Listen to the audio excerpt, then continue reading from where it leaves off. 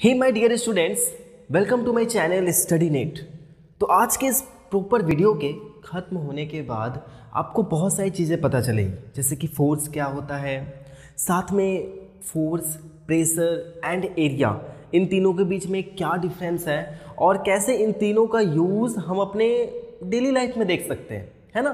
तो देखो, सबसे पहले मैं आपको बताना चाहता हूँ कि ये फोर्स क्या होता है। जैसे बेटा देखो, हमने इतने बड़े बोर्ड पे हमने क्या किया? प्रेशर लगाया। ठीक है? प्रेशर लगाया। तो एक तरह से हम कह सकते हैं कि अगर हम इस बोर्ड को ऐसे धक्का मार रहे हैं मीन्स इसको चाहे तो अगर हम पुश कर रहे हो, या इस बोर्ड को पकड़ के हम खींच रहे हो तो इस बोर्ड पे क्या लग रहा है? एक फोर्स लग रहा है। तो जब भी हम किसी चीज़ को पकड़ के खींचते हैं, या जब भी हम किसी चीज़ को धक्का मारते हैं पुश करते हैं तो वहाँ पे क्या होता है? एक फोर्स क्रिएट होता है। ठीक है? उसी को हम कहते हैं फोर्स तो इसीलिए इसका जो डेफिनेशन हो जाएगा, वो नॉर्मल जो आपने पढ़ रखा है the pull and push of an object is called force अब नेक्स्ट एरिया तो आपको पता है, कोई पर्टिकुलर जगह जब हम उसको ले लेते हैं डेट इज़ कॉल्ड एरिया तो सबसे इंपॉर्टेंट चीज़ जो है, वो आज हम ये देखेंगे कि ये प्रेशर क्या होता है और कैसे ये प्रेशर इन तीनों से रिलेटेड है. तो प्रेशर का एक, सबसे पहले मैं डेफिनेशन लिख देता हूँ. फोर्स पर unit area area is called pressure.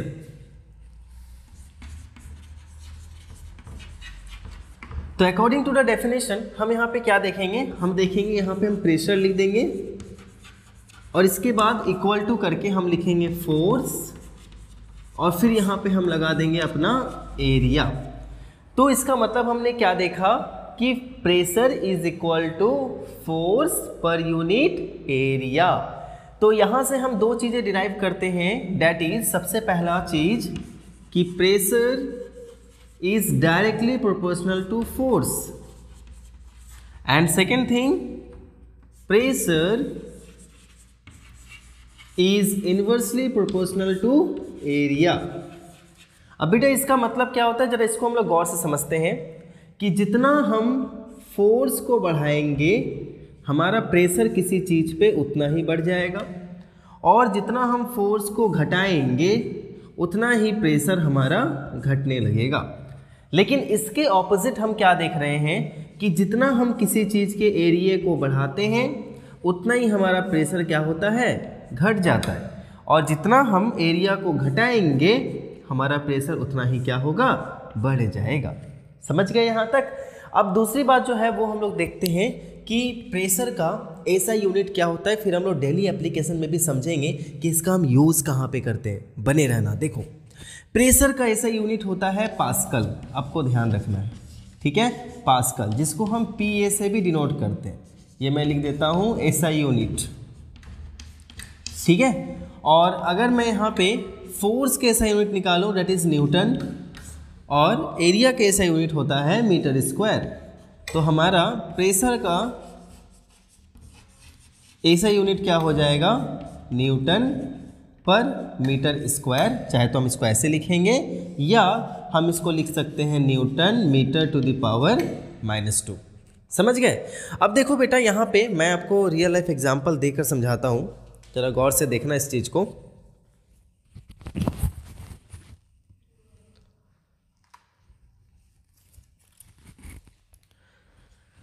ये देखो, ये पिन तो दिख रहा होगा ना? ये पिन का जो अपर वाला पार्ट है, ये वाला पार्ट, ये कितना ज़्यादा शार्प है, कितना नुकीला है। और ये वाला पार्ट जो है, वो कितना ज़्यादा ब्लंट है। अब अगर मैं क्या करूँगा, इस पिन को लेकर, अगर मैं इस बोर्ड पे इस तरीके से, यानी इसके अपर वाले पार्ट से ऐसे इस पर प्रेशर लगाऊँगा, ऐसे करके।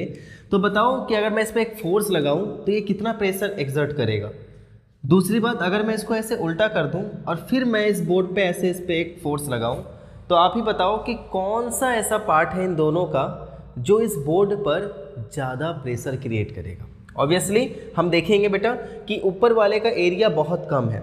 ये जब बोर्ड को टच कर रहा है तो ये बोर्ड के बहुत कम एरिए को टच कर रहा है। तब जब एरिया कम होता है तो हमारा प्रेशर क्या होता है? बढ़ जाता है। लेकिन इसी कंपैरिजन में अगर इसमें मोटे वाले पार्ट से इस बोर्ड को टच करता हूँ तो इस बोर्ड के ये ज़्यादा वाले पार्ट को कवर कर रहा है। इसीलिए जब एरिया बढ़ गया तो प्रेशर हमारा कम हो जाएगा। इसीलिए हम अपने डेली लाइफ के एग्ज़ाम्पल में देखते हैं कि अगर मैं एक नाइफ़ लूँ, अगर मैं दो नाइफ़ आपके सामने लेता हूँ, एक ऐसा नाइफ़ जो बिल्कुल ब्लंट हो, है ना? और एक ऐसा नाइफ़ जो बिल्कुल शार्प हो। तो जो शार्प वाला नाइफ़ होता है, वो बहुत जल्दी आपकी चीज़ों को काट देता है। है ना? वेजिटेबल्स को बहुत जल्दी काट देता है। क्यों काट पाता है? क्योंकि उसका एरिया कम होता है। इसलिए वो प्रेशर ज़्यादा लगाता है। लेकिन इसके ऑपोजिट अगर आप एक ब्लंट नाइफ ले लो, उससे आप कोई चीज़ को काटने का प्रयास करो तो क्या होगा उससे? क्या होगा उससे जल्दी बताओ उससे ये होगा कि वो चीज़ कटेगा ही नहीं। और कटेगा भी तो बहुत गंदे तरीके से। अगर मैं यहाँ पे इस बोर्ड की बात करूँ, ठीक है, इस बोर्ड को हमने कैसे अरे हैंग किया हुआ मैं आपको समझाता हूँ। इस पूरे बोर्ड को one two three four five इस पूरे बोर्ड को फाइव नेल्स के ऊपर ऐसे हैंग किया हुआ है। ऐसे करके। तो क्या होता बेटा, अगर मान लो मैं एक, दो, तीन, इन तीन नेल्स को अगर मैं निकाल देता तो होता क्या? जल्दी से बताओ। तो अब देखो, होता क्या कि इस बोर्ड के सिर्फ़ दो ही पार्ट को इस दो नेल के ऊपर एडजस्ट किया गया होता। इससे होता क्या कि पूरे के पूरे इस बोर्ड का जो प्रेशर है, वो इन दो नेल्स के ऊपर आ जाता। डेफिनेटली बहुत कम एरिया इस वॉल का ये टच कर रहा था तो प्रेशर बढ़ जाता।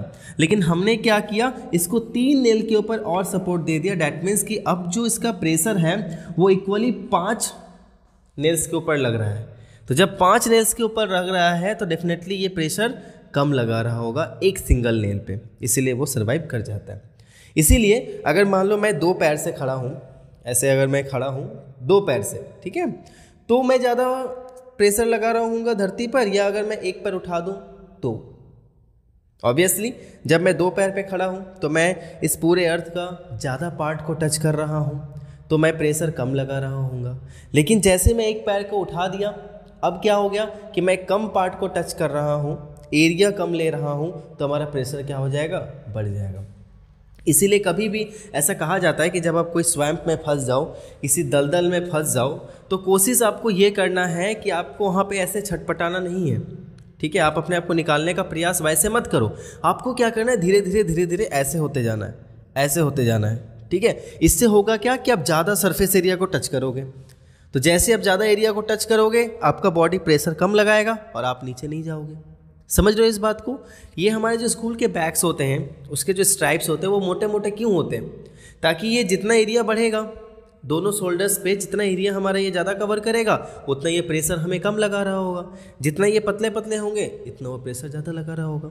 तो बस इतना आपको ध्यान रखना है कि फोर्स एरिया एंड प्रेशर इन तीनों में जो डिफरेंस डिफरेंस बोल रहा हूँ, इन तीनों में जो रिलेशन है वो यही है।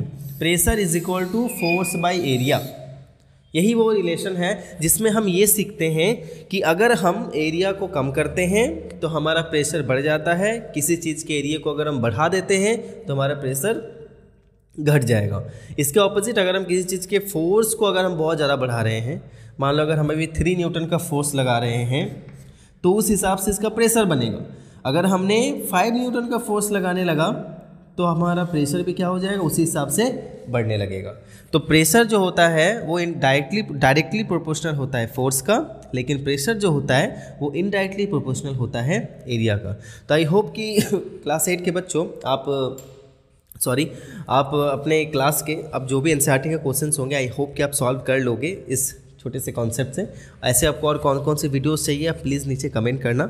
एंड मैं आप लोगों के लिए लेकर आऊँगा। अगर कोई दिक्कत, परेशानी हो तो प्लीज़ नीचे कमेंट करके बताना। Thank you so much for watching this video मिलता हूँ अगले वीडियो में। तब तक take care be safe keep learning and keep watching study net